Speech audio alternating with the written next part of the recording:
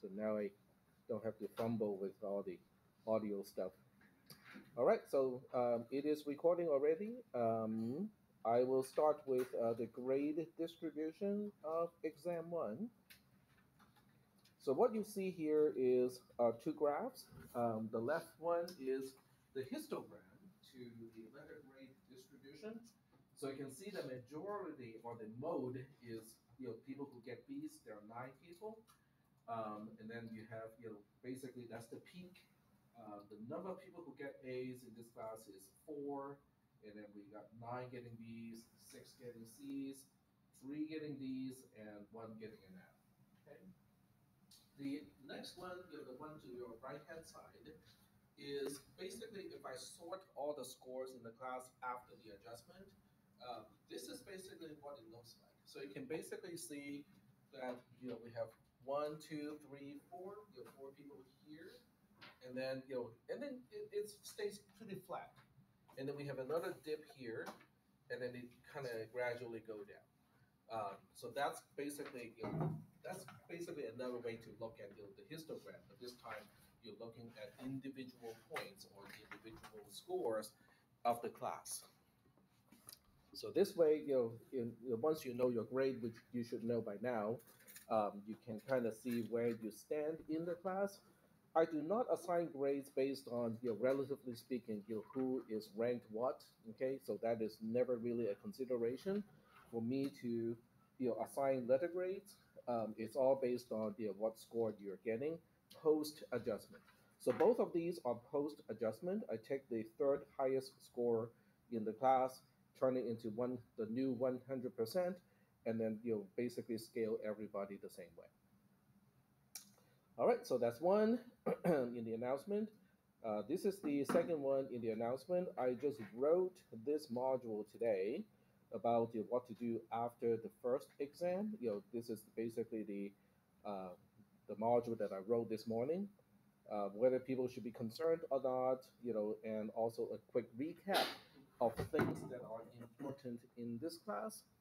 Um, so that's one. That's another, you know, this is kind of important. Um, and then I also posted, you know, something else. This is my tool. Okay, I worked on this tool over the weekend, actually on Friday. It took me about two hours to make this tool. If you haven't tried it yet, you know, go ahead and click it. You, it will ask you for permission and stuff like that. You know, just give me permission because you're not actually, this is not your spreadsheet anyway. You know, this is just my spreadsheet. So the spreadsheet has several tabs. You know, one tab keeps track of all the concepts. One tab keeps track of you know how concepts can relate to each other, and then the last tab keeps track of the connections between the concepts. So you know this one is all based on drop-down boxes. You know, based on the other two tabs. And once you're done with this, or you're halfway done, you can go to the first tab, you know, that is you know uh, labeled "click," and then go to this link here and click on it. And what will happen is it's going to plot you know how the concepts relate to each other as a picture. So this picture is only based on binary addition. That's it. Okay, you know this does not contain binary subtraction it does not talk about signed versus unsigned. It does not talk about comparison. It does not talk about double. It is just binary addition. So you can see that the concepts in this class is not simple. Okay, they're all fairly complex concepts. So what do we do when we deal with complex concepts? So there's time management and then time allocation and also time you know, budgeting, that sort of thing. But the most important part is note taking because your mind, your short term memory, is very limited. When you're trying to remember things that are familiar to you already, like names or digits and stuff like that, you can store mm. about seven to nine things in your head, okay, for about 20 seconds. okay?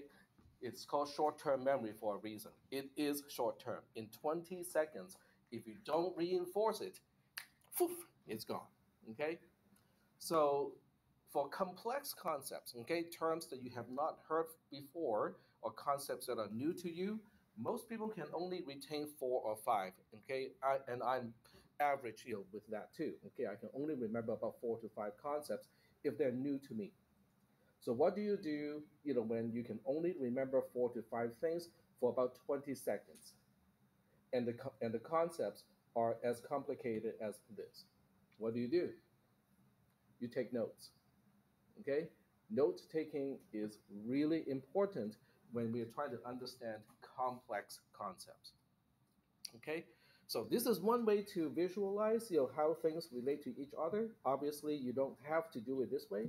You can write it down. Okay, you can use Joplin. You can use a piece of paper and just a pencil. Okay, so you can use any tool you want. But whatever you do, do not rely on just listening to something or reading something and hope that you can remember everything and make relations or connections between the concepts. Okay, except for very few people with 160 plus IQ, it's not going to work for the rest of us.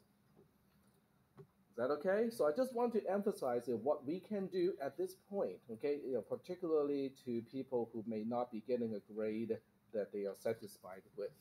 So I here I also kind of classify, you know, what do people want, need to do if they get an A already? What do people need to do if they're getting a B, a C, a D, and an F?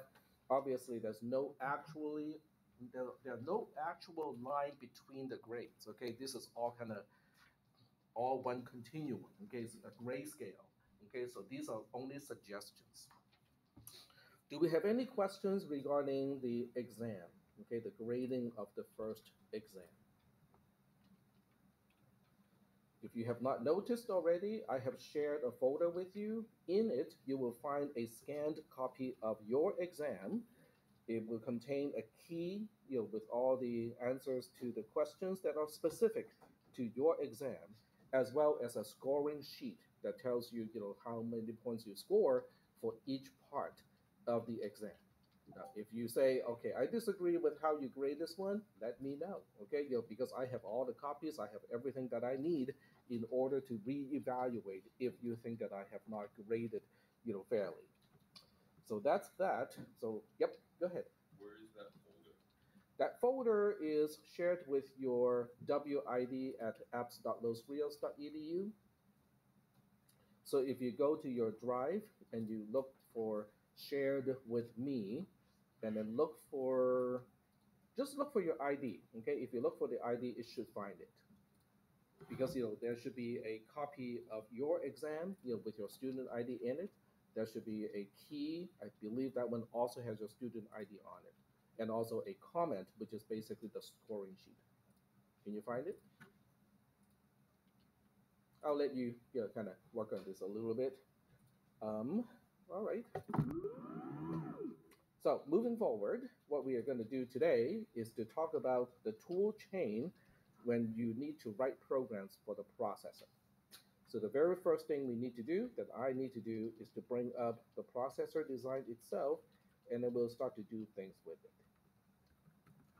So today's lecture is really an extension to the lecture on last Wednesday.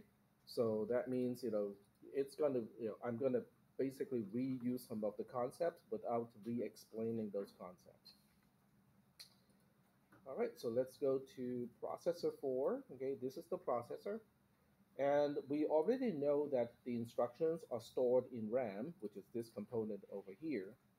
Last Wednesday, we only talked about how to execute the opcode called 00. It really doesn't do anything other than incrementing the program counter. But otherwise, it doesn't change any register for any in any meaningful way. So what we'll do today is we're going to learn the tool chain you know, that can help you write code without you having to memorize everything because you know, we got tools to help out in that process.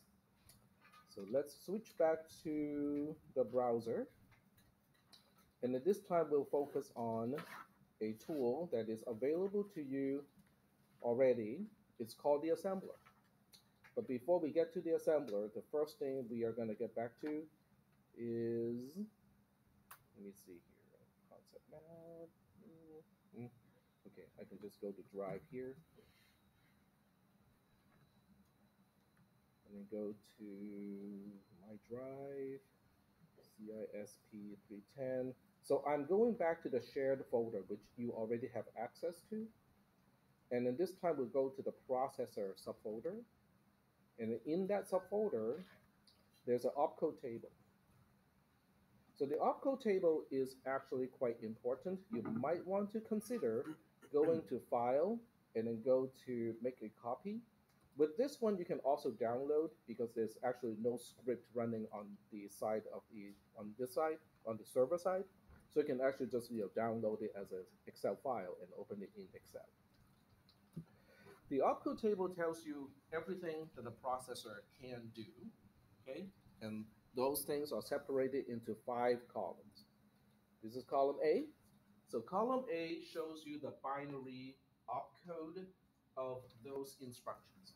So every instruction is represented by eight individual bits. So for instance, okay, I'll just make an example here. So for example, if you want to compare two registers, then you have to specify 0101 as the most significant four bits. And then the other four bits, you know, will be used to specify which two registers are we comparing. Okay, well, I will explain you know, some of that later on as well. The second column, column B, is called the mnemonic. Because technically speaking, you can write the entire program using just column A. But it's going to be a chore to have to remember all those binary opcode. It's not like you cannot do it, but why do you want to do it if you don't have to? Okay? Because it is very tedious. But the processor, on the other hand, can only understand what is in column A. But you, on the other hand, you know, column B is not particularly, you know, self-documenting. For instance, okay, CPR is uh, I take it back. It's not compare. This is copy register. Okay, CP is copy and then R is register. So it is a very abbreviated version of you know the original operation. But column B is called a mnemonic.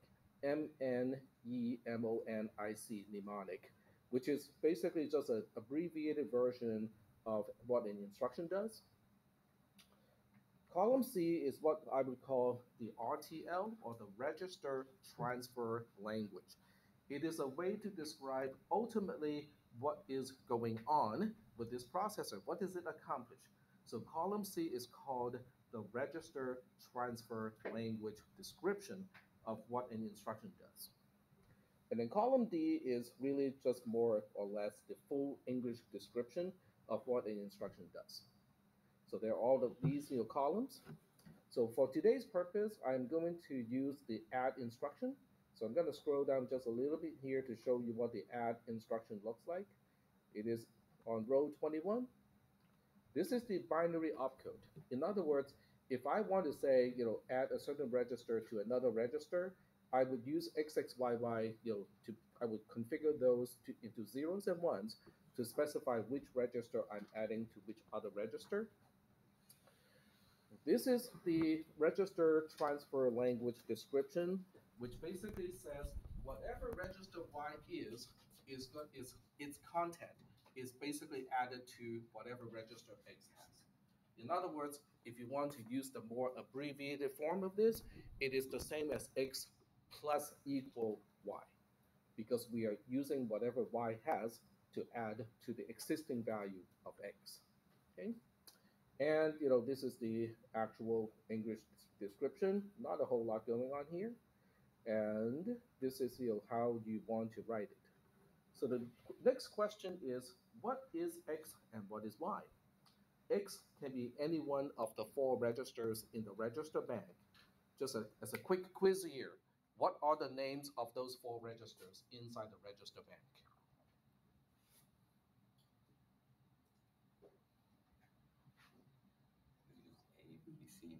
Yep, they're just A, B, C, and D. Okay, that stuff is from last week. Okay, because last week we took a look into the register bank and we saw the names of those registers.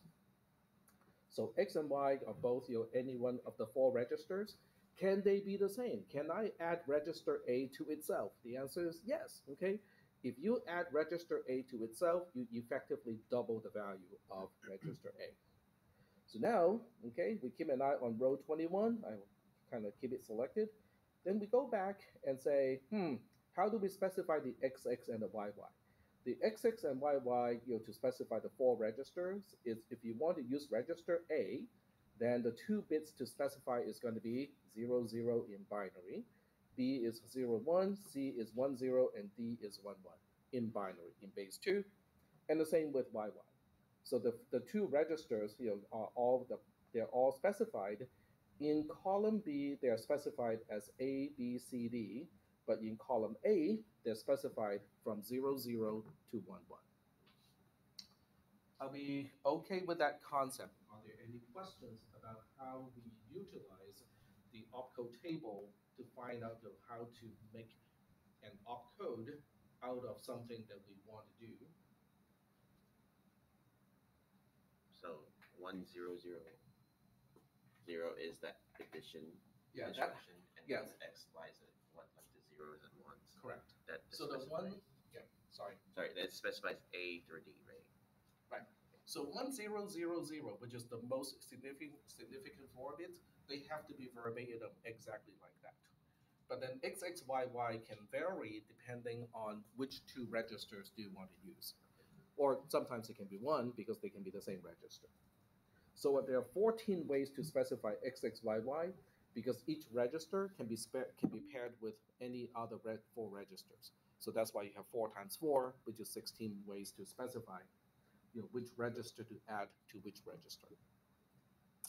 All right, so that's what we're going to do today. Okay, so we will go ahead and specify a particular thing that we want to do, and then we'll try to translate everything. Um, I'm going to use Mousepad just as a text editor. There we go. I'm just going to stash it over here. So let's just say that what we want to do is we want to add register D to register A. Okay, that's what we want to do. For whatever reason, okay, that's what we want to do. So the next thing we want to do is to specify in column C in RTL, which is register transfer language, we are basically saying A plus equal to D or A equals to A plus D. Is that okay? Does everybody understand how the English description of the line above is really saying the same thing as A equals to A plus D? Okay. So now that we have identified register A and register D, then we go like, hmm, which one is X and which one is Y? So you look at the format on line on row 21, you go like, oh, okay, so the register that is going to store the result is X. So register X you know, the placeholder X is register A, the placeholder Y is register D. So that means XX, you know, in order to use two bits to specify register A, is going to be Zero, Hmm? zero. Zero, zero. zero zero. That's right. And then YY to reg- to specify register D is One, one. Very good. Okay. So that means the opcode, the binary opcode is going to be one zero zero zero in base two, and then XX is zero zero, YY is one one. So this is all in base two. I just want to emphasize that we are looking at eight individual bits. Is that okay? So this particular process is called assembling, okay? You know, because what you're starting out with is a certain operation that you want to specify, and then we convert it into uh, RTL, which I think is a whole lot easier to understand than the mnemonic. But once you have the RTL, you know, there's an intermediate step here. You can also say in mnemonic. This is the same thing as add AD, okay, because it fits this particular format over here. And then in terms of opcode, it is 10000011 you know, because we went through the process of translating. So are we doing okay relating the columns, you know, in the opcode table to how we applied the opcode table in actual operation? We go, we doing okay with this? All right. So there are not really a whole lot of instructions in this simple processor. There are less than 30, okay, because I used up a, a, a whole bunch of rows at the beginning you know, for non-instructions, and then the last row is only 33. So I think we have about what 27, 26-ish, you know, actual instructions. But depending on the architecture that you're using, like most people who teach this class uses the x86 architecture, and that thing has easily more than 200 instructions. So that means, you know, if you have to remember the binary bit pattern for each one and try to figure out you know, what the remaining zeros and ones you need to be, it's not going to be easy. Okay, so what we do is we have tools to help us in this process. It is called an assembler. So if you go to the same folder, which is the processor subfolder you know, of the shared folder, which you already have access to, if you go to the assembler, it is also a Google Sheet. Now this one only works as a Google Sheet. It does not work at all. If you try to download it and open it, open it in Excel, it would not work. It only works as a Google Sheets. So inside this Google Sheet, and when you go to the source tab, which is uh, what I'm in right now, you know, people in the back may have a little difficulty, you know, knowing that I'm on the source tab or the source sheet. Column A is the source code. So whenever you start a program, you can do it by deleting the entire column A, and then you start to write some code. So in this case, I'm just going to use exactly the same thing, add AD. And you can always put in comments too. I use the same standard as C++, so that means anything after the slash slash on the line is the beginning of slash slash begins commenting on a particular line. So everything from here all the way to the end of the line is comment. It is ignored by the assembler. So in this case, I can just say, okay, A gets A plus D, or we are adding register D to register A. Whatever you want to do, okay? So after you press the enter key, it might take some time for the assembler to do its work. Okay, so if you see you know in the other columns of it is loading and then dot dot dot, it is perfectly normal. Okay, just give it some time to get things done. The assemble tab, which is you know the fourth tab from the left, you know shows you exactly how things are done. So in this case, you know add AD column W is um, telling you the address of where this opcode is going into. So in this case, the only opcode we are specifying here is going to location 00, which turns out to be the very first location in RAM. That kind of makes sense. Column X is telling you what is the content exactly at the location that column W is indicating. So this means at location 00, we are going to have a content or value of 83 in hexadecimal. Um, column Y is not used in this case because column Y is only used when we have instructions that take up two bytes. So if you have an instruction that take up two bytes, then column X is going to be the byte at the location as indicated by column W, and column Y will specify the byte that is at one byte past the byte on in column X. Okay, so you take the address of column W, you add one to it, that becomes the address of the byte of column Y if column Y is not blank. I can give you an example. So it is best to just give you an example. Now there are quite a few instructions. This one is not important, so don't ask me what it does, okay? This is a jump instruction, it takes up two bytes. So in this case, uh, when you go to the assemble tab, you will see that it takes up two bytes. So 40 is the content at location 01, 22 is at location 02. Okay? I'm telling you this because in today's lab, there will be a question asking you something related to how to interpret column W, column X, and column Y. So if this is something that will be useful later on, which also means if you think you may not remember, what do you do? you jot down some notes. Okay. All right. So now, now that we have you know all of this uh, stuff specified, the question is, but how do we get this program into uh, the RAM component in the processor? So let's take a look. So there are a few ways to do this. For, for a program this simple, one thing to do is to go to the location where you want the opcode to go and just type over it, like 8, 3 in this case. You can do that, okay? It will work. But when your program gets longer and more complicated, this method may not be desirable because you, you can copy something wrong. And if you copy something wrong, there's no way the tool can actually check against what it is supposed to be, and then you have made a mistake. So if your program is getting bigger, it is best to use the second approach. The second approach is to go back to the browser, okay, go back to the assembler, but this time you go to the RAM file tab. The RAM file tab looks kind of funky. The first line says it'll be 2.0 raw, and then the rest of it is just spelling out the spelling out the byte values one by one. So in this case, we have 8.3 being the add instruction, 4022 are the two bytes required by the JMPI instruction, which I'm not going to explain at this point. So the way you download the file is to make sure that you're in the RAM file tab to begin with. Then you go to File, then you go to Download, and you can choose between CSV versus TSV. Okay, that's up to you. I just use CSV for this purpose because I have TSV for other purposes, but that's up to you.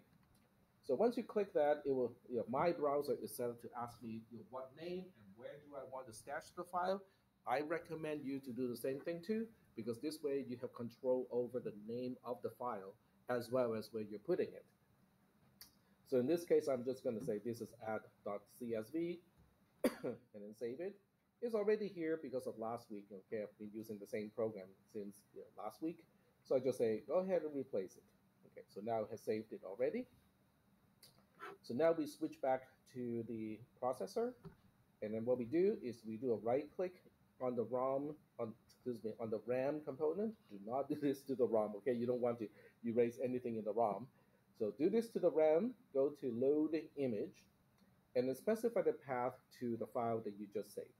In this case, I put it into my temp folder. The name is add.csv. So yours obviously will be different. So you need to make sure that you reference the file that you just downloaded. Click open. And now you can see 834022. The entire program is now loaded into the RAM component. So it is a little bit cumbersome, okay, you know, because every single time you change a program, you're gonna have to do this all over again. I will share with you some tools that can automate the entire process, okay, but at this point, it's not super important because we are really only focusing on one single instruction right now. All right, so now we are about to execute the instruction and adding zero, zero, because if I go into the register bank to take a look at register A and register D, they are zero, zero, and also zero, zero. Adding zero, zero to zero, zero in order to get zero, zero is not very helpful nor exciting, and I cannot even tell whether the opcode is working or not, right? So we're gonna change it a little bit, okay? So I'm gonna pick some random values for A. Okay, so let's call this you know, C6, okay? And then we'll make this one, eh, I don't know. Let's try uh, 7D, okay? So I'm adding hexadecimal 7D to hexadecimal C6, okay? So before I run the code, one thing I want to do is to make sure that I know what the result is supposed to be, okay? So we'll go ahead and perform the addition by hand so that we know what the program is supposed to do to register A. So for that, I'm going back to mousepad because I can just do this by hand. So now we are doing hexadecimal you know, addition. So we're adding C6 and 7D. So this part relates to um, the exam that I just graded, okay? Because you know, in the exam, we have a base 8 addition this is the base 16 edition. The rules are basically the same, okay? So there's no actual change of rule. So now the first question, oh, we have a default um, zero here as a carry. Okay, so now we want to say, okay, what is 6 plus D? Well, the first thing is, what is D representing? If you have a table next to you of all the hexadecimal uh, conversion, D has a binary bit pattern of 1101 which is representing 13, okay, what we know as 13. 13 plus 6. So the question is, is it greater than or equal to 16, which is our base? What do you think? Okay, it is. So that means we have a carry of 1. So we stash a 1 over here. And what is 19, which is the sum of 16 and 13? 6 and 13, sorry. 6 and 13 has a sum of 19. What is 19 mod 16? Is a 3. So that goes here. And then 3 plus 0 is just a 3. All right, so now we have C plus 7. C is 12. 12 plus 7 is once again 19. 19 mod 16 is also a 3. But 19 is also greater than or equal to 16. So that means we have a carry of 1. 3 plus 4 is a, oh, excuse me, 3 plus 1 is a 4. So we are expecting 4, 3 as the result in hexadecimal. We are expecting just an overall carry of 1. And since we're here already, we might, we might as well work out the other bits too. What about the overflow? Are we having an overflow here? Yes. I was just gonna ask, how do you know, so you're just referencing the, the points in the location, right, of Turan, but saying C six and seven D. But how do you know the values are there to- for you to do that? That's How do I important. know what? Yes, how do you know the values are stored in those two? because I just stashed these values specific, specific, yeah, specifically into register A and register B. Right, but how do you know what's inside of those two? Because for, for what I'm seeing right here, you know, I thought he was going, is we know what's is already stored in C six, but I don't know what's stored in C six. So I have to refer to, No, C6 is just a random value that I chose earlier to stash into register A, and then 7D is just some random value that I chose so earlier you're know what your, what your sum essentially. so that I can test whether the sum, whether the add instruction is working correctly or not. Because adding 0, 0 to 0, 0, ending up with 0, 0 is not very telling of whether the instruction actually works or not. Okay, because you can inject value into the registers manually, which is what, what I did. So what about the overflow? Okay, so in terms of the overflow, what we need to do is to think about whether the sign makes sense or not. C has the most significant bit being a 1, 7 has the most significant bit being a 0, and then 4 also has the most significant significant being a 0. So what this means is I'm adding a negative quantity and a positive non-negative quantity, getting a non-negative quantity. Is that possible? It is possible in an addition. So that means your overflow is going to be a zero. We do not have an overflow situation. And then the L flag is the overflow flag um, exclusive OR with the most significant bit of the difference. Okay, so I'm just going to call this a D7. so D7 is a zero. Overflow is also a zero. So the L flag is going to be a zero because that's how it is defined. All right. So I think we got most of the flags figured out. And the end result is not a zero. So the zero flag is going to be a zero as well. So I'm just doing all of these computations ahead of time so that when we execute the instruction, we can double check to see if the operation is doing what it's supposed to. All right, so now we switch back to the main circuit here. And this is where I'm going to short circuit you know, the discussion a little bit because last week we talked about how to track down the execution of the instruction. When the microcode pointer is at 000 and we are having a rising edge, it is called the fetch operation or the fetch phase of the instruction execution cycle. So control T, now we have just fetched. How do we know? Because 8.3 is now in the instruction register. We have successfully fetched the opcode into the instruction register.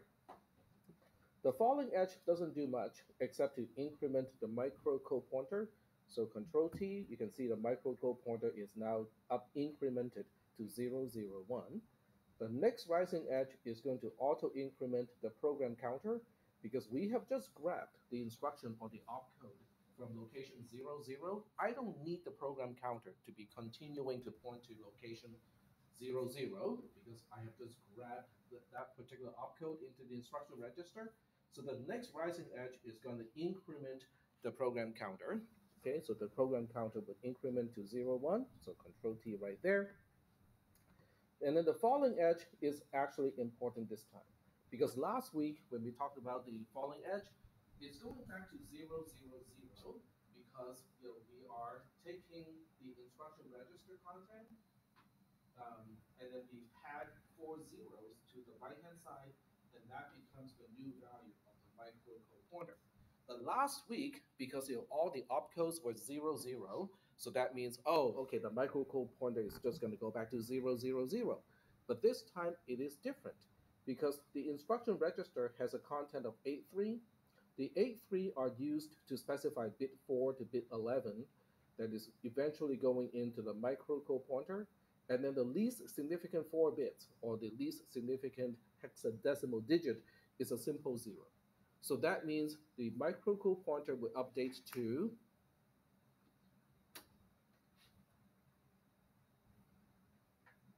So you think about this, right? You know, the most significant uh, bit 4 to bit 11 are 8, 3. Okay, so bit 4 all, to, uh, all the way up to bit 11 would be the same as the instruction register, which is 10000011. But bit 0 to bit 3 are just four zeros, like so. So this particular bit pattern is going to be copied into the microcode pointer on the falling edge. So what is this particular bit pattern in hexadecimal? Because the register only displays its content in hexadecimal. Well, this is 8, this is 3, this is 0. So we are expecting 830 to be in the microcode pointer. Is that okay? Now this is the last phase of executing an instruction that is universal to every instruction. This is called decoding. Okay, we introduced that term already in last Wednesday's you know, discussion. So now we do a control T, and there we go. Okay, you can see how the microcode pointer is 830, and the content at location 830 in the ROM is now being dispersed to the rest of the processor. So now we have to go back and go like, okay, remind me again, you know, which you know components are going to be do we need to analyze in this case? So there are only a few components that need to be analyzed. So we are going to go systematic. Okay, so because the systematic way is to look at the register bank and see if anything in the register bank is going to update. This time we know something is going to update because input enable is a light green, which means it is a 1. And whenever input enable is a 1, it means one of the registers in the register bank is going to have its enable pin being a 1, which means it's going to update. To understand which one, we just have to go in. Okay, go to the register bank and we can see that register A is about to update on the next rising edge. Okay, so the question now is, well, if register A is going to be updated, what is the source of that update? In other words, who is providing the value to update register A? So the value to update register A is coming in through this particular wire. So the question is, where is this coming from? It's coming from a multiplexer. The multiplexer is enabled, and it is selecting input 1 to become the output. So now we track down input 1 input one is coming from the ALU. This is the ALU. So now we have to ask, oh, what is the ALU is doing? Okay. So to understand what the ALU is doing in this case, the best way is to right click and go into it. Okay. So we right click on the ALU and we go into the ALU and then we say, okay, we know the output pin of the ALU being this thing here is going to update register A. But how do we come up with this bit pattern here? 0, 1, 0, 0, 0, 0, 1, 1. How did we come up with this? So now we track this one back. It is coming out of a multiplexer. This multiplexer is enabled. And now we have to find out how is it, which input is it selecting to become the output. So we track down the select um, port, and that goes to OPSEL, which stands for operation selection. So this is 0, 0, 0. So that means input 0 of the multiplexer that we were looking at is actually you're feeding the output. So now we have to track from this one down. So to track this one down, we go all the way and go like, oh, it's coming out of an adder. Okay. So if it's coming out of an adder, we want to know what it is adding. The zero is being used as K0. Okay, so I know, so we know K um, K0 is not contributing to the actual addition. So now we have to figure out uh, which two values are is it adding. This is the first value. This is the second value. So let's work on the first one first. So this value is coming out of a demultiplexer. The demultiplexer is enabled, and it is using the same select as the other one. So that means it is um, the input is connected to the output. Okay, no, that's okay. We'll track down where this is coming from next. Okay, but since we're already here, we might as well track down the second input to the adder. It's coming from the second demultiplexer. The select of the second demultiplexer also goes to the same OPSEL or operation select, which is also just 000, which means this input is connected to output 0. Okay, so after all this, we now know that in 1 and in 2 are connected to the adder. Whatever the result of the adding is becomes the output, which ultimately connects to register A in order to update register A. Are we doing okay so far? Okay. So now we ask, but who is connecting to in1 and who's connecting to in2 of the ALU? So we have to zoom back out, okay, because now we track down in1 and in2 one at a time. Okay, so we track down in1 first. This is coming out of a demultiplexer. The demultiplexer is enabled. And then when you look at this wire over here, it has a value of 1. So, or 0, 0, 0, 1 in this case, doesn't really matter because the bottom line is the input is connected to output 1, which then goes to in 1 of the ALU. So now we have to track this one down and ask what in the ALU is, is outputting to out 0 of the register bank. I, I shouldn't say ALU, I should have said register bank. So now we right click and go into the register bank again because we are now trying to track down this one. It is coming from a multiplexer. The multiplexer is selecting input 00, which is this 0 here, which is connected to the output of register A. So now we know register A, or the output of register A, is what goes to in 1 of the ALU, which then goes to the first input of the adder. Okay? Now we go back, you know, to the other input, which is this one here, and then we ask who is here contributing to this output. We look at the select of this multiplexer, it is 1, 1, which is a 3. So that means input 3 connects to the output. This is input 3. It is connected to the Q port of register D. So this is how we know register A and register D are the two registers contributing the value to in1 and in2 of the ALU. The sum of those two is then looping back to the input of register A, so the register A gets the sum of register A and register D. Are we doing okay so far with all this? Yes? Okay. Now, there's more stuff going on inside the ALU as well. Since we are talking about the ALU, might as well talk about that too. Because the ALU also specifies flags out, which is then used to update the flags register. As you can see, the flags register is also enabled at this point, which means you know, on the rising edge that is happening next, the flags register will also update. So the question now is, what how is the flags register going to be updated and how does it get those values? So now we have to kind of track that one down. Okay, go all the way down here. And this is flags out, okay, which is the output that ultimately connects to update the flags register. So it has five bits, unlike the other registers, this one only has five bits. Bit zero is coming from C out. So we want to track that one down, C out. C out is over here. Um, actually, I take it back. Okay, right here. So C out is right here. C out is the output of a multiplexer. This multiplexer has a select that is also being routed to OPSEL up there, right here. So that means we are selecting input of that multiplexer to become the output.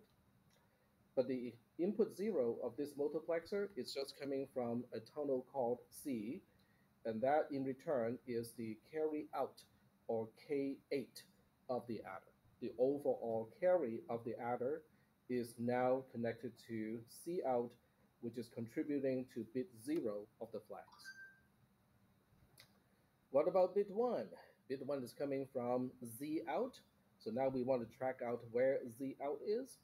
Z out is right here. It is the output of a NOR gate. The NOR gate is funny looking because it's taking all eight bits of the result of the addition. So basically we are doing a regular OR, okay, which means if at least there's one input of a one, the output of the OR is going to be a one. But no, this is not a regular OR. This is a NOR because of this little bubble here. So the one is negated into a zero. So Z out is a zero. And that is bit one of flags out. Okay, so if I go all the way back down, this is ultimately connected to bit one of flags out, and that's why we have a zero here.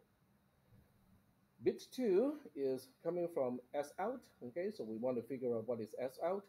Of all the bits, S out is perhaps the easiest one because S out or sign out is merely just bit 7 of whatever the result is. In this case, because the result is 01000011, bit 7 isolated is just a 0, and that's why S out, which is bit 2 of flags out, is just a 0. This is the 0 that we saw earlier. The next one is overflow. So O out is coming out from here. O out is also coming out of a multiplexer. This multiplexer goes to the same OPSEL, and since we're selecting operation 0, 0, 0, so that means input 0 connects to the output. And input 0 is coming out of this network of gates, which is basically computing overflow in the context of an addition. If you add two non-negative values and you end up with a negative value, you have an overflow. If you add two negative values and you end up with a non-negative value, you have an overflow. Okay, but in this case, we are adding a negative value to a non-negative value, ending up with a non-negative value. Yeah, there's no overflow. It can happen. So that's why you know you can see that overflow is also a zero. And then this one connects to the exclusive OR between S out, which is the most significant bit or the sign bit of the result of the operation, and overflow. Okay, so that's basically our L flag. It is the exclusive OR between those two. Zero exclusive OR with zero is a zero, and that's why we see bit four is a zero. So this is tying back to the discussion of binary comparison. Okay, the concepts that we talked about in binary comparison, the overall borrow, okay, or carry, depending on which way you look at it, um, the overall um, sign, you know, those are all utilized here. This is not comparison, we are adding, but nonetheless, you can see you know, how the flags are coming, where they're coming out of, and how they get out of the ALU, and be remembered in the flags register that is sitting next to the ALU. Are we good so far? I'm just gonna pause a little bit because I've been talking nonstop for what 20 minutes at least. So to remember everything that I just said is going to be a little difficult. But do you know how to track things down? The most important part is being able to not to repeat the process, but to reason it out. Okay, you know, what kind of reasoning did we apply to figure out how things are all connected? Okay, so let's double check. Okay, because now we go back into the register bank and then we ask, how is register A going to be updated? The 43 is in hexadecimal, the 67 is, is in base 10. So we ask, is 43 what we got earlier from working on this manually? Okay, so let's go to mousepad. And yep, 43 is what we figured out earlier. Overflow is a zero, okay. The L flag is also a zero. The zero flag is also a zero, but the overall carry is supposed to be a one. So everything is as expected right now. We good so far? So the next step is just do a control T so that we have a rising edge. And then we can see how register A is going to update to 4-3 in hexadecimal. So here's a control T, and register A just got updated to a 4-3, okay, not unexpectedly. And then when we go to main, we can also take a look at the flags register, which is a 0, 1, which is kind of what we expected, because only K, only the overall carry is a 1, all the other flags were zeros. So that's how we execute the add instruction. All right, so do we have any questions about this entire process?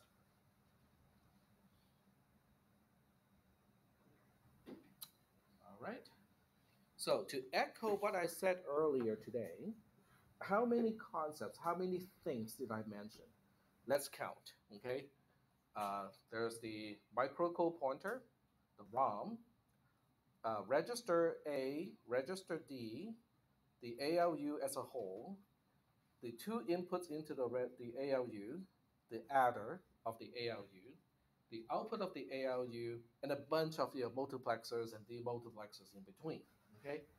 So the question is, can you remember everything that I just said? The answer is no. Okay? Nobody can remember that. I cannot remember it. Okay? But the most important part is, do you know how to work on this step by step? If something is coming out of a multiplexer, do you know the next question to ask is to ask, hey, which input is being selected right now? Or even more importantly, if it is a multiplexer that has an enable pin, you have to first ask, is it even enabled? Because if the multiplexer is not enabled, don't even bother to ask the second question, which is how it is selected. Okay, so all of those are important questions. You know, knowing the process of how to figure this out is far more important than rote you know, memorizing, you know, the, the entire process that I went through today. And you probably want to do this to at least a few instructions, just so that you, you get familiarized with the processor. Okay. Do we have any questions at this point? Yep. Uh, say you give an instruction set, you don't want to press Control T multiple times. Is there a way to simulate multiple ticks? Is there a way to Simulate multiple ticks. Like multiple just have it takes? Run. Mm, well, only this particular tick is important. Only the execution is unique to an to an opcode, because the, the fetch, the increment of the program counter, and the decode are common to the execution of every single instruction. So you can kind of fast track through those three, which is a rising edge, a falling edge, and then a rising edge. But then the next falling edge is decode, and then the next rising edge, which is the, the fifth control T, is significant. So I would pause on the fifth, you know, rising edge, and try to figure out, you know, how things are configured. All right. Yep. Do we have this file to be able to download to use It is in um, it is in the uh, one of the announcements. In today's lab, it would actually tell you where to download it as well. But if you go back to the announcement from last week, I made um, a zip file, so you can just download the zip file and unzip it. That's what we did on last Wednesday, I think, the 9th. Yep, that's last Wednesday. Yep, I did that already. If I didn't read my own announcement, I would have forgotten that I did that already too. That's why I have to write all kinds of stuff because I cannot remember a single thing if I don't write things down.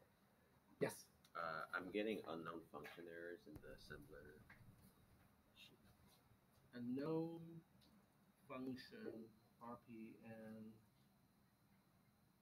Give it some time or refresh the screen.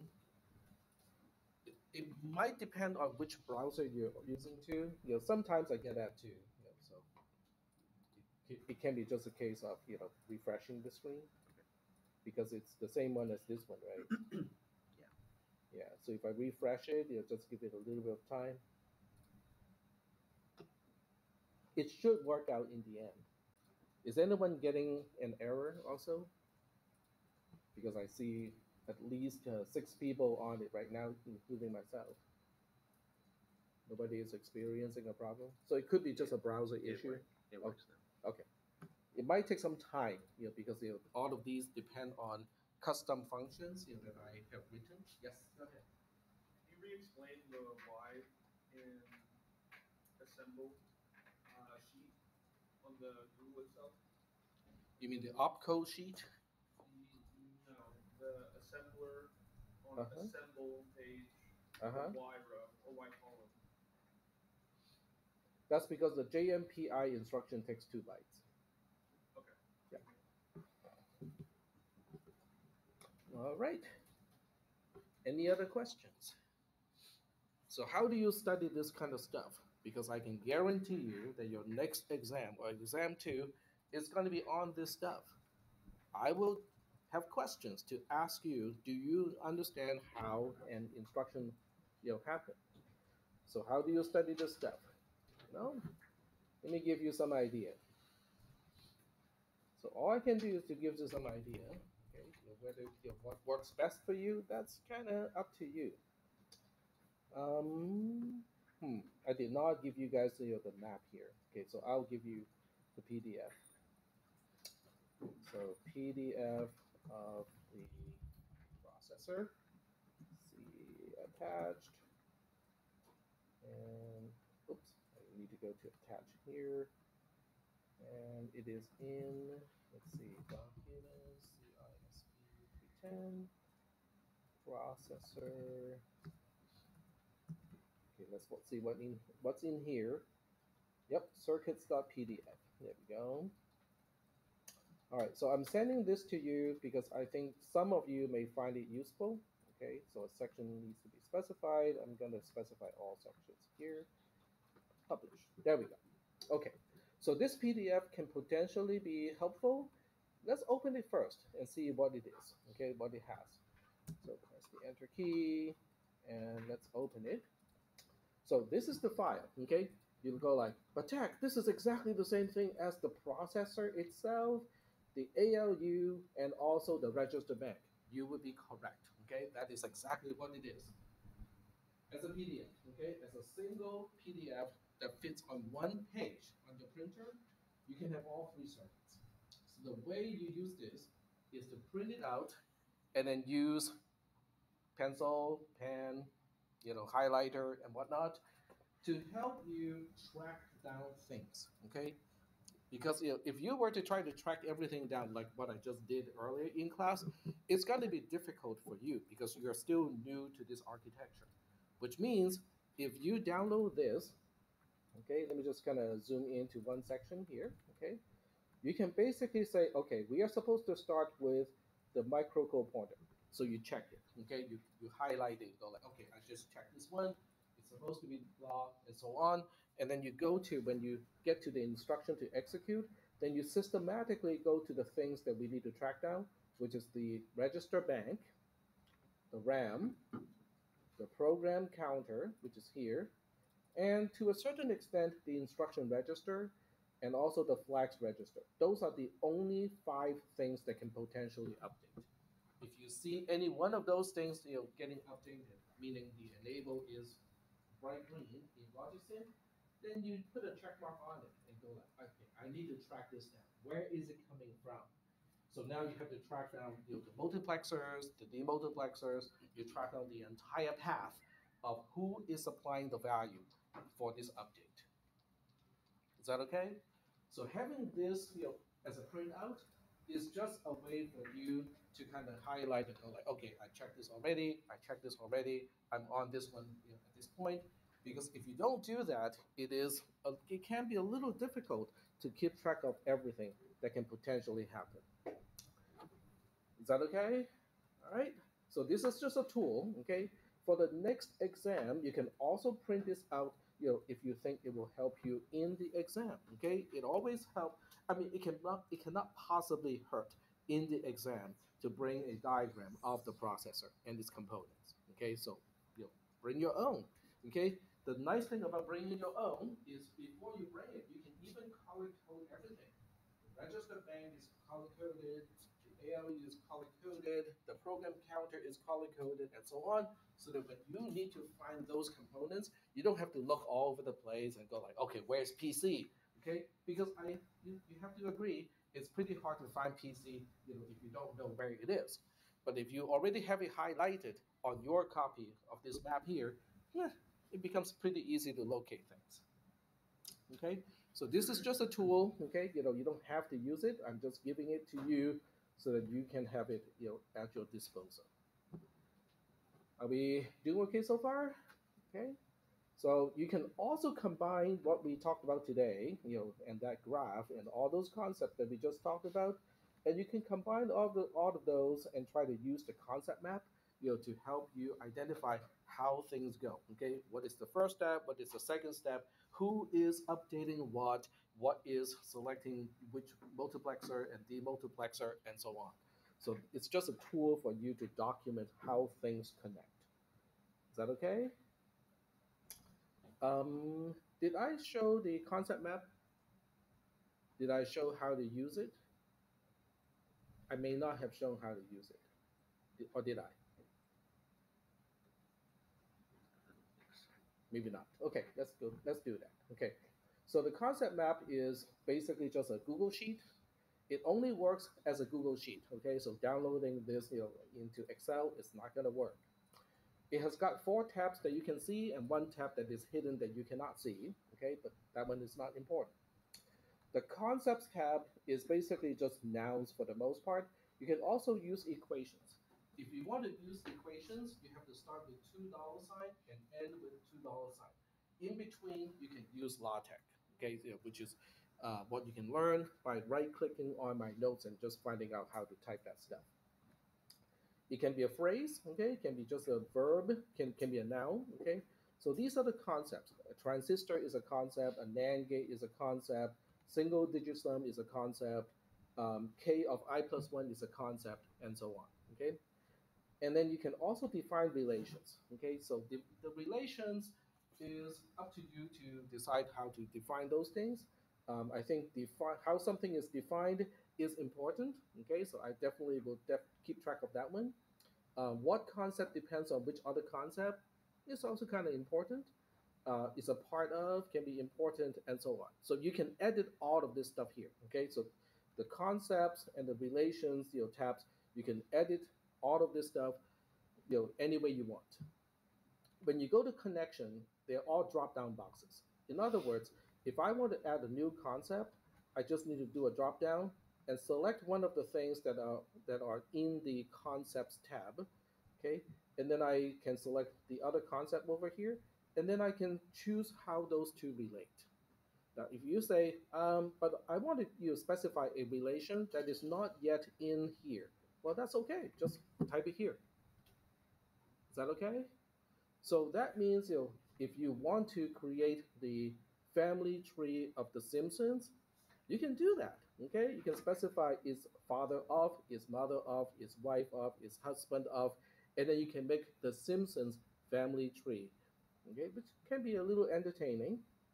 After everything is done, you go to the first tab, which is click, and then you just click on this you know, URL here, and it will show you everything in a graphical way. Is that okay? So it is just a tool, okay? You know, you don't have to use it at all, but I think you know it might be helpful to some people, you know, to have a tool that can help you actually visualize the concepts and how they relate to each other. Because you might find clusters of these concepts where they, there's a dense interconnection between those, and then you know, and then there will be very sparse interconnections between clusters. So you know that can be helpful. Okay. And in the process of making this, you might be getting a better understanding of the material as well, because you go like, oh, okay, between these concepts, I vaguely remember they're related in somehow. Let me go look it up, okay? Because it, so it might actually you know, prompt you into reading the notes just to find out how two concepts are related, because you remember vaguely that they are related, but you cannot remember you cannot remember exactly how they're related. So you just look it up put that relation in so that it shows up in the diagram. Is that okay? So it's just me, you're trying to find some way for you guys to do something in order to you know understand how the concepts are related. Are we good so far or not? Okay. So in terms of reading, there is quite a bit- of reading as well. Okay, you know, I'm trying to supplement as much as I can in terms of you know writing things down. Okay, so TTP explained sort of is actually an explanation of these concepts. Um, this one is still you know not in GitHub, but it's the same thing. Okay, so it basically talked about the ALU. It talked about you know the three phases of executing instruction: fetch, decode, and execute. So basically, everything that we talked about last Wednesday is already here. Okay, if you have read this already, then none of the first part of today's lecture is going to be exciting because it's already here. It's only the actual execution of the add instruction that is slightly entertaining because that one is specific to the add instruction. All right. Do we have any questions? Okay. So before I forget, I am going to go to the assembler and delete the entire program because today's lab requires you to paste your own program into the assembler. And some people last week in the Tuesday, Thursday class, um, they thought that the code that's already in here is what they're supposed to be using in the lab. That is not the case, okay? So your lab will come with certain instructions that you only have to copy and paste into here, and then you run the code. So let me show you how to run the code and how you can tell whether your program has concluded or not. So I'm going to write some program here. Okay, start with the no op instruction for no particular reason. And then I have LDIC with 20. um, and then I'll decrement C and CC. And then we'll do a J um, ZI to uh, 1, JMPI back to an earlier point. So I'm going to say dot. Let's see. Ooh, this this can be this can be a little tough here. One, two, three, four. Okay, four minus. This is L one. See, if you type in something that you're not supposed to, or there's a problem, it will tell you there's a problem too. So the error checking logic is actually it takes quite a bit of time to get that part done. So this is L1 with a colon and then the whole instruction here. Okay. So your program is not the same as this one. Okay. So make sure that you copy and paste your own program. And before you do that, the first thing, the very first thing you need to do is to go to File and then go to Make a Copy. Okay. Because you will need your own copy of the assembler in order to do your lab. All right.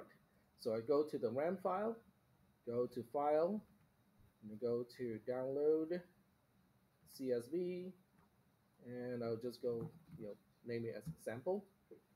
And before I do that, before I do anything else, I go to the Assemble tab just to make sure that the branch is correct. Okay, it is correct.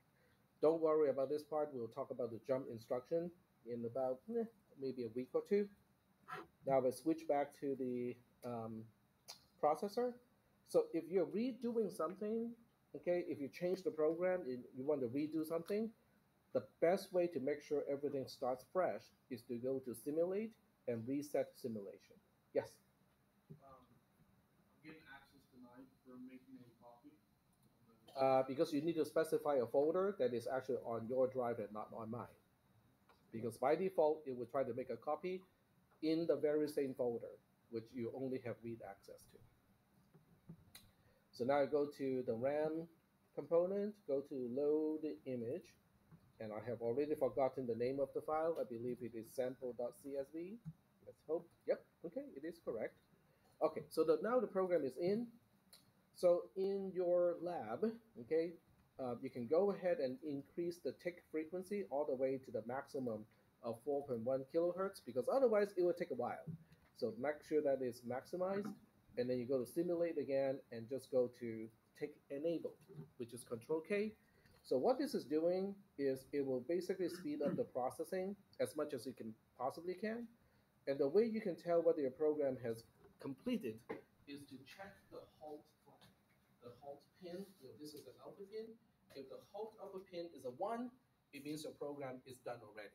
So any further ticking is not gonna do any difference, make any difference. So now you can go to simulate again, stop the simulation. So you can go to uncheck text text enable, which is another control K.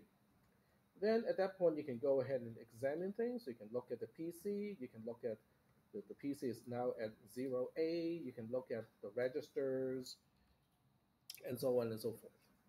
Okay, so that's kind of what you need to do in today's lab, is to run certain code, not knowing exactly what it's supposed to be doing, and just kind of wait until the program is all done and check out the, content of the program counter, I think in one of the questions, and then check out the content in one of the four registers in the register bank in another questions.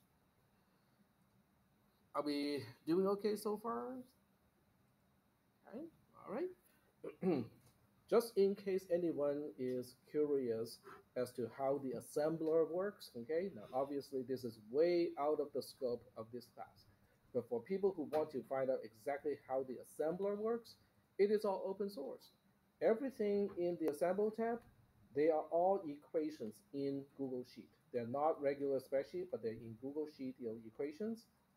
And there are some additional code in Apps Script. So if you turn on Apps Script, you can actually see you know some of the other stuff that I need to do over here. So the whole thing is open source if you are curious. If you're ever curious about how the assembler itself works, you can actually see that. And if you need some tutoring for this class, Marco in the Mesa Center is probably one of the best tutors for this class. Okay? So if you qualify for Mesa tutoring, um, then I would use that as a resource okay, because Marco is very good at this stuff. All right, do we have any questions at this point? Okay. Oh, just one more thing, because you know I think it is kind of important. Uh, let me go back to the announcements and going back to post exam one suggestions. So if someone is getting a relatively low score, okay, you know, meaning a D or an F, which is very concerning at this point of this class, um, there are a few things that I can suggest, but one thing I have not mentioned yet over here that is actually very important is, is to show up in class on time, okay? Because you know, if somebody is missing like the first 20 minutes or half an hour of the lecture, the rest of the class time can be very difficult to catch up with. Okay, so being on time is actually very important in this class because all the concepts just kind of stack up. So missing the first portion of a class can potentially make the rest of the class really hard to understand. Even though everything is recorded, you know, missing the lecture itself is actually missing a great deal. And then the rest of this module just talks about you know time budgeting which basically says for every hour you spend in this classroom, okay, let me take you back. For every hour that you're supposed to spend here in the classroom, you're supposed to spend two hours outside of the classroom to study, to review the notes, to you read ahead of time, to experiment, and basically do things to help you understand the material. So you have to budget that time in because if you don't have that time budgeted in, you cannot possibly spend time to do it because it's not in your budget. So these are recommendations of things that you can do if you want to kind of move your grade you know, up a notch. Um, they are not the only things you can do. These are the only things that I had time to write down this morning. So that's about the the you know, the general idea of what this is about and why I wrote it. Okay, any other questions? Having a study buddy can be helpful too, okay, because you know, the process of explaining something to another person can be helpful. You know, you might understand you know a certain concept that you thought you understood already, but you might get a deeper understanding as you explain to somebody else. Okay, so that can be helpful. Um, so if you need to talk to me about your grade and what you can do to improve your grade, do not hesitate. I'm usually in my office at 7:30, you know, like in what three hours before the, the start time of this class. Okay, so if you need to stop by and talk to me, you know, that's good. You can also talk to me after the lab time. You know, so after 1.30, I'm usually in my office or at least in the building somewhere until 3 p.m. when I have another class. So talk to me if you you know think that might be beneficial. All right. So I think that's all I can say. Okay, you know, I can only talk about these things so much until people actually come talk to me. All right. So I am going to give you the next lab right now. So the next lab is, you cannot see it yet, I have to unhide it. So the next lab is called familiarizing with the TTP text toy processor toolchain. So let me uncheck it or check it so that you can see it. The access code is uppercase TTP ASM, which stands for Text Toy Processor Assembler. There you go. And I believe you guys can all start as soon as you want to. It is due today at 1.20 p.m. All right.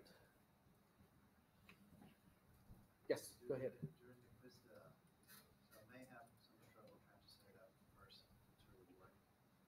During the quiz, just tells you the steps to set it up or? Yep. Yep, it, it gives you all the instructions. Because I downloaded the three files. Hmm So unzip it into a folder and then get, start Logisim load processor 0004. It will ask you where the other two files are. So help it locate it. If it doesn't ask you, even better. But I think It, well, usually- it gives me a, a error. Let's put it It's not an error. Okay, so don't save this one. Don't, you know, so Close it. close it. And then just open it again. It's not an error. It is asking you where do I find those files. Yes. But if you save it, then it will it will remember, oh, you don't need those files. so you Logisim, o- open it inside Logisim. You have to start Logisim first. Yep, There you go. And go back to your file. Recent should be. Okay, either way. So uh, I, I here. Okay, so open processor 0004. Okay. And now navigate to where the AL It's right there as well. Hmm? It's right there. Okay, so click uh, select. And then we'll ask you about where this where registrar is. So yep, right there. There you go. Now save it. Now save it. Yeah, because if you save it now, then in the you know, in the future, when you open this, you to save it. Uh, just go to file. Oh, okay. It must be in the folder that you you don't have right access to. That is odd. That is very odd. Where's where's the folder? It's on, uh, this is the one that we used before. So is it outside of your documents Yeah, folder? it is. It is outside of documents, and outside of documents. I created a separate. Here. Okay. Well, that's I not have saved big. it before Yeah. here, and it works. But today it won't let you save. Yeah. Did you unzip? You you must have unzipped the file, because otherwise it won't be able to find the two. Well, you can get the work done without saving it. You know, it's just that next time you ask you about where to find those new files again. It's a minor inconvenience, but it's it's.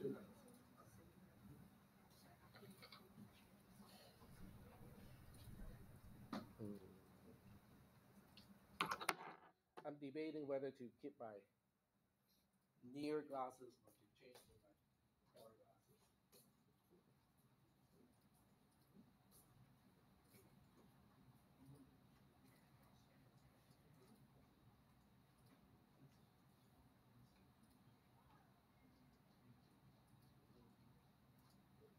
So as far as we need to know today is the column line is only these certain instructions, instructions have two bytes and column wise device